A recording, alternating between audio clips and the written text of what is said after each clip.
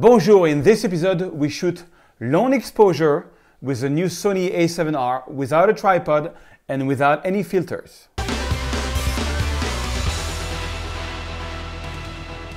Bonjour mesdames et messieurs and welcome to episode 96 of my photography, Lightroom and Photoshop tips. My name is Serge Ramelli. I'm a, still a French photographer, still living in the beautiful city of Paris. In last episode, I showed you how I shot a, a room in the Hotel Arès, Paris. This is the final result. The whole idea was to uh, find out how to make an exposure for the inside and for the outside and mix both.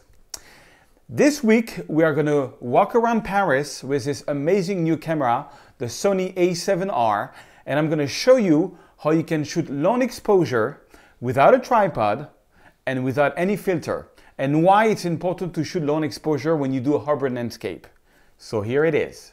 Okay guys, just before we get started, if you want to get the raw files for free of what I'm going about to show you, you can go to start, uh, sorry, to news, sign up. And you put your name and your email and you will get a page. And on that page you will get all the raw files for all the episodes. And that's how the page looks this is how it looks you've got all the episodes you can just scroll through to see you know what it's talking about and just click here and you download you got over 80 free raw files from Rome, from the USA, from Paris, the Mont Saint Michel, the Alps, restaurants in Paris, hotels, everywhere, the Antelope in uh, Page, Arizona, the whole world, uh, from Israel, from Jerusalem, from the Dead Sea, everywhere. All this for free. Uh, all you have to do is subscribe to my newsletter and allow me, allow me to send you two newsletters per week, inviting you to eventually you know, buy my full courses. Just as a reminder, because, you know, like everybody, I need to pay some bills. Uh, if you want to support what I'm doing, I know I do a lot of free stuff, but I also have some paid stuff. And the latest being the complete volume of all my preset, 250 preset, which you can roughly get for $50 because I still have the code 2014, and my winter landscape course, which you can get for $40, which is the best shots uh, I've done in winter and I show you all, it's like two hours of video, how I've retouched everything, I'm giving you all the raw files. And I usually go a lot more in depth than what I'm showing you here on the free stuff. So now let's get to the tutorial. So I just wanted to share with you guys a, a couple of tips and tricks uh, about shooting uh, long exposure without using ND filters. Uh, now, this is going to be about the new Sony a7R, which I'm totally crazy about. I still shoot Canon. I have the Canon 5D Mark II 7D, and I have also the 6D. I didn't buy the 5D Mark III, I bought this one instead, and I'm really happy about it. Uh, I mean, Canon is very good for shooting uh, in studio, but for what I do, which is big landscapes that I do big prints on, I prefer using the Sony because um, because I like to travel light. That's the main thing. You see, the way I, I work is that I take photo all the time, but literally every day or all the time in case something happens. So uh, I cannot have the 5D Mark III with me with a tripod and it's just too heavy. So I, I, bought a very small bag, and this is my game these days, is to have one lens only, which is this one, the 2.8 35 millimeter, which was made for the Sony. And um, I want to show you a little trick that I find which is really useful, which is to shoot long exposure without using an ND filter. I don't even know if you have an ND filter yet for that camera. Probably there is, I don't know, I haven't tried. But um, there's a lot of stuff that I like, and what what's gonna what I'm telling you about the Sony is is uh, works for any camera. Basically, what I do is I work in manual mode. You can see here it's in manual mode, and um, now some of you know this by heart. I'm just you know this is just an introduction to long exposure in case some people don't know, but this is how I do it sometimes. So I put on manual mode, and then you see this wheel here and this wheel here. There's two wheels there is basically one is going to change the exposure and yes, one is going to change the aperture. In fact, this wheel changes the aperture and this wheel changes uh, the, the speed. And so what I do is that I, I, I put my aperture on f22. So I have a very small aperture. So there is hardly any light that comes in. And then I just look at the viewfinder and I turn, oh, the other thing that I do is I go here and with this wheel, by default, you can change the ISO. And the ISO can go as low as 64, which is really cool because uh, there is no noise and it forces long exposure. So I put my ISO at 64. Uh, here I put my um, timer uh, until I have like an okay exposure from what I see from the back screen. And on this one, on this photo, I think it was about six seconds. Now, this is one of the first shot that I did. This is not a long exposure. This is just, if I press I, this is a f4.5 ISO 400 180. Now, I also shot this manual. I, this is first to try. You know, what I do is I, I put first the time 180 because 180 I know I will have a sharp photo. Then I put f4.5 because that's the minimum minimum you can use for landscape. And then I just boosted the ISO until I have an exposure that I like. That was just my first try. But you see, what I don't like about urban landscape when you have, uh, and I really don't like that, is this. Look, the water. The water is very. Uh, I think it's ag- it's aggressive. You know, the, that's the river, the Seine on the in the river in Paris, and it's just the texture is like I just don't like how it looks. You know, so then I did the trick that I showed you, and check this out. This is 2.5 second at f22, ISO 50. Oh, it actually goes down to ISO 50. And uh, so you have a very, not noisy, but look, the, the difference of texture between this and this. And that's only 2.5 seconds. You know, and, and the, the city lights were still not on. The city lights were still not on.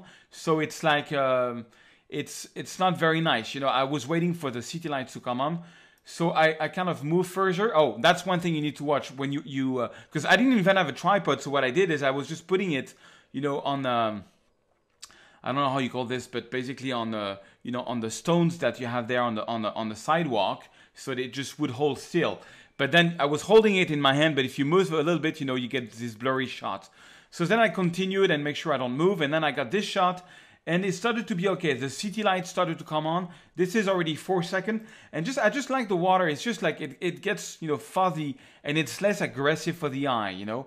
And then I keep on walking, and that's a bit better. It's a bit later on. Now we're at six second of exposure, but then I, I got it down to f13 because uh, I didn't need to be at f22, and that's a good thing because when you are at f22, this is what's happening. You get all kind of spots.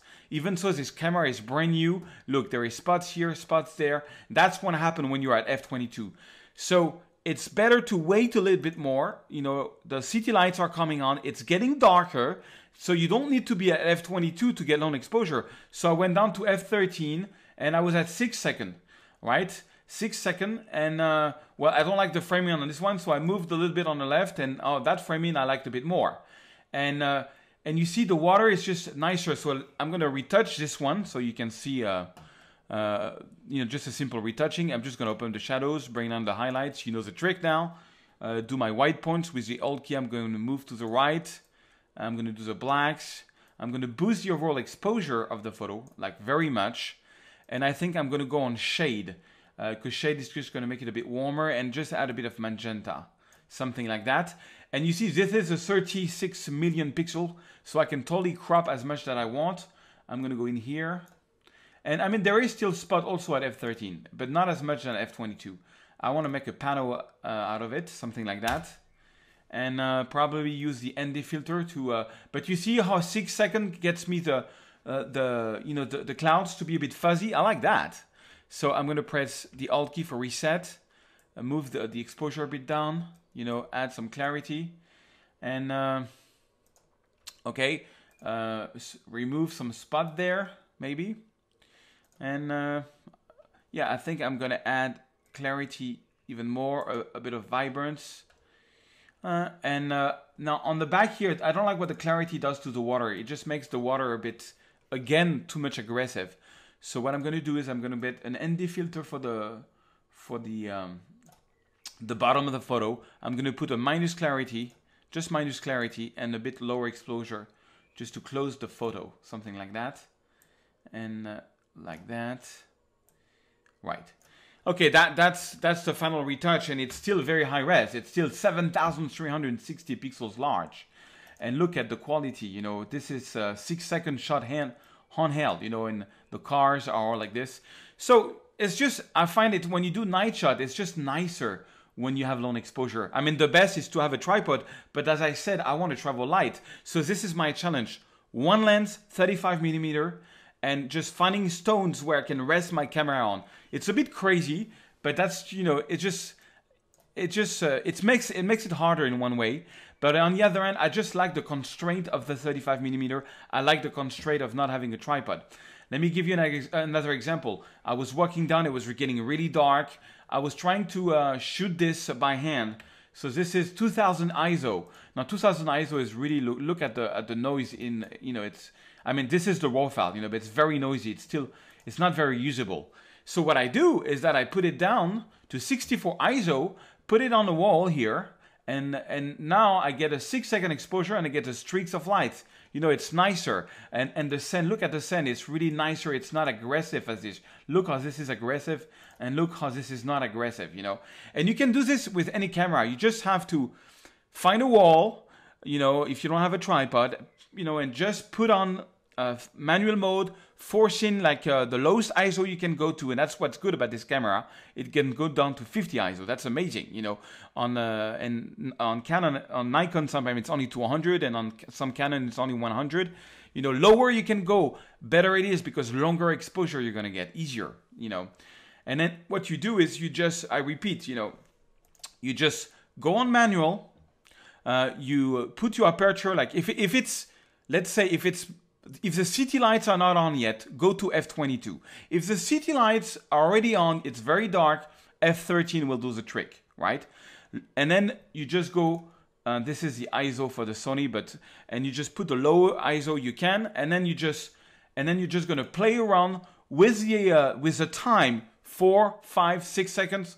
Longer you can, better it is. If you can go up to 30 seconds, it can be very nice because uh, the you know the clouds is going to get even more stretchy the water is going to be even more silky you know it can be cool. Okay and this is the last photo that i took. This is bastille a very nice area in paris. That's just a raw file.